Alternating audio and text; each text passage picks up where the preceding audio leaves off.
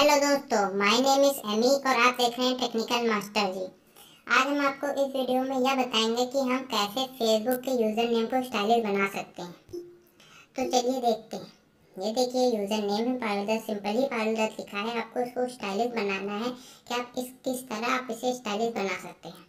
तो चलिए शुरू करते हैं। आपको सबसे पहले फेस प्ले स्टोर पर फू व्यू को डाउनलोड करना है, हमने डाउनलोड कर लिया है तो आप भी इसे तुरंत डाउनलोड कर लीजिए और सेटिंग में आप थोड़ा बहुत चेंज कर लीजिएगा और ना समझ में आए सेटिंग तो आप मुझे कमेंट में बताइएगा कि हम कैसे आपको, हम फिर हम आपको बताएँगे कैसे सेटिंग चेंज करें।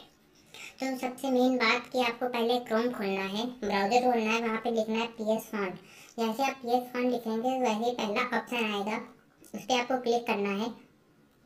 जैसे आप क्लिक करेंगे तो यहाँ पे एक इंसर्ट टेस्ट आएगा। तो आपको यहाँ पे लिखना है सिंपली आपको लिखना है पारुल दत्त जो आपको नाम चेंज करना है, वहाँ पे आपको लिख देना है।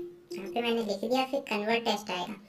तो आपको इसमें बहुत सारे ऑप्शन आते हैं, आपको जो अच्छा लगे वो सेलेक्ट कर लीजिए। मुझे तो सबसे अच्छा यही लगता है।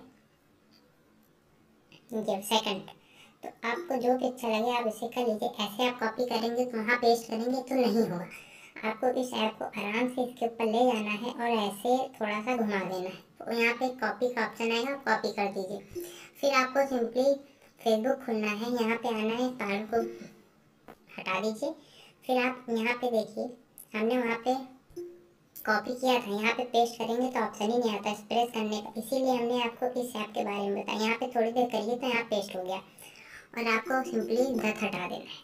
फिर यहाँ पे आपको आराम से ले जाना है, यहाँ पे पानी हटा देना है। फिर यहाँ पे आपको रिव्यू कर देना है। यहाँ आपको पासवर्ड डालना है। आपने पासवर्ड डाल दिया, आप इसे सेव चेंज कर दीजिए।